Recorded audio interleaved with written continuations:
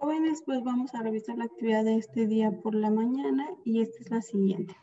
Decía por ahí nuestro libro que íbamos a identificar cuáles eran las escenas en que íbamos a dividir nuestra leyenda. ¿ok? Y en la página 122 de nuestro libro tenemos el subtema distribuir la trama en actos y escenas.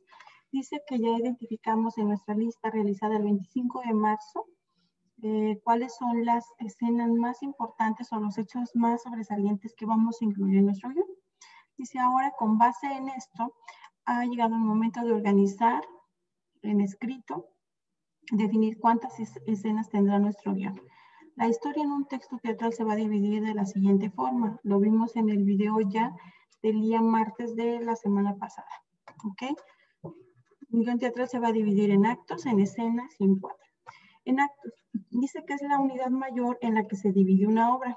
El fin de un acto se indica con recursos tales como bajar el telón, oscurecer el escenario o encender las luces de las salas. ¿Ok? Dice acto 1, generalmente con letra mayúscula, pero eh, eh, utilizando distintos tipos de tipografía para hacer más variada la escritura en el guion y no confundirnos. ¿Ok? Dice eh, la escena.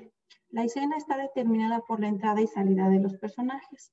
La escena entonces va a decir así, por ejemplo, escena 1 se refiere a la, escenografía, pero también a la, participación de los personajes.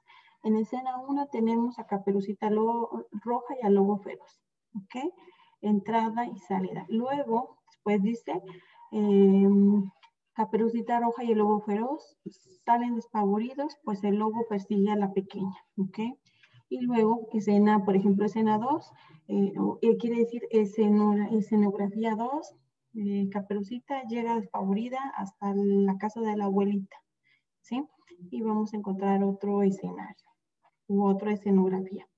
El cuadro que indica un cambio de tiempo o lugar, es decir, va a marcar aquí, dice un cambio de tiempo o lugar, se va a referir, aquí sí nos va a dar detalles sobre el espacio físico, ¿ok? Mientras en las escenas nos va, a nos va a hablar de la participación de los personajes, cómo actúan en el cuadro nos va a hablar más detallado sobre el espacio. ¿okay? La tabla de la cual se refiere entonces la indicación es la siguiente. Es esta.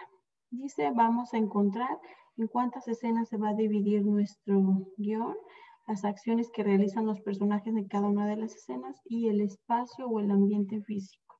¿okay? En este caso eh, está hablando del ejemplo de la leyenda de Chichen Itza y la princesa Sagnitec. Y dice escena 1, las acciones de los personajes. En escena 1 vamos a observar a Sagnite en el escenario. De repente llega Kanek y los dos se miran y se enamoran. ¿okay? ¿Cuál va a ser el espacio o el lugar? Itzmal.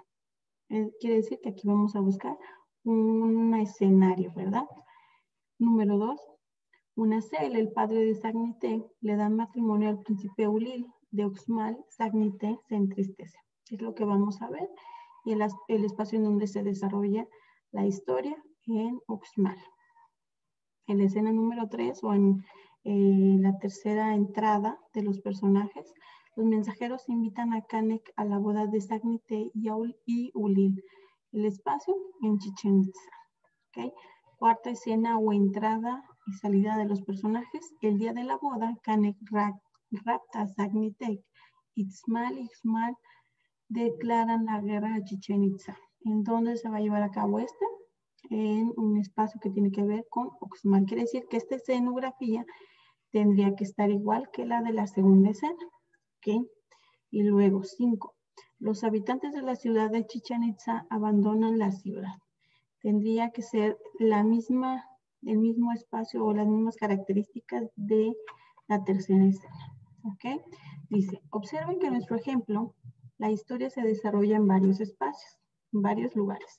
Si la historia de la leyenda que tú seleccionaste se desarrolla en un solo lugar, no es necesario que indiques a cada uno de los, de los lugares. Es decir, si se desarrolla dentro de una casa, pero es el mismo escenario, no hace falta que hagas señalamientos, pero si es dentro de una casa, pero en la recámara 1, en el comedor, recámara 2, ahí sí tendrás que hacer tu especificación. ¿Ok? Esa es la actividad únicamente del día de hoy. Si te das cuenta es muy sencilla, únicamente tenemos que ver en cuántos en cuántas escenas o especie de apartados vamos a dividir nuestro guion teatral. Nos vemos el día de mañana y el, es todo por el día de. Que descanses.